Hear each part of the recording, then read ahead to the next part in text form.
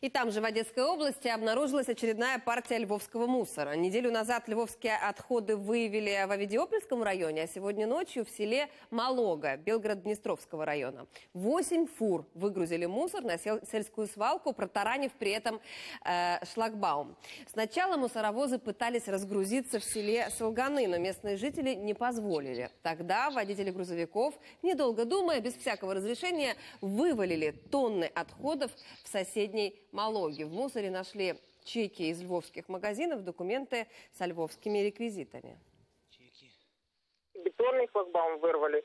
И аккуратненько себе выложили шесть фур и две, две раньше, две так стороночки, а эти шесть прям посчитать можно. Будем дежурить ночью круглосуточно.